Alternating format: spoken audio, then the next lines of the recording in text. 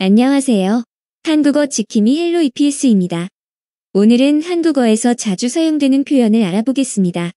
들어보세요. 타멜에 가면 참 많은 가게들이 있습니다.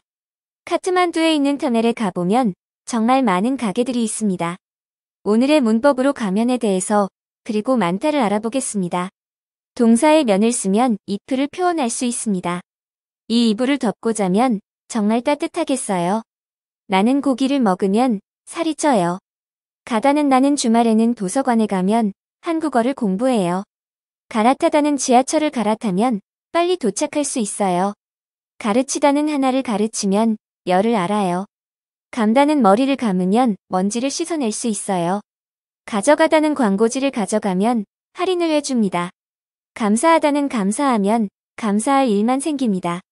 가지다는 추석이 지나자 낮에는 따뜻하다가도 해가 지면 쌀쌀하다.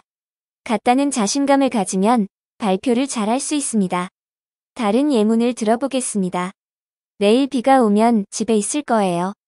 지금 안 오면 후회할 거예요. 이거 다 먹으면 배가 아플 거예요. 리모콘을 찾으면 TV를 볼 수 있어요. 다른 예문을 들어보겠습니다. 터멜에 가면 참 많은 가게들이 있다. 들어보세요. 많다. 서울에는 외국인 많다. 많다는 매니, 머치에 사용됩니다. 우리가 외식을 할 때마다 친구들이 음식을 많이 먹어요. 많은 친구가 태국 음식이 한국 음식보다 더 선호해요. 한국에는 친구 많아요. 그는 걱정이 많아서 머리를 식히러 산책을 했어요. 가보고 싶은 재미있는 곳이 많아요. 들어보세요. 터멜에 가면 참 많은 가게들이 있다.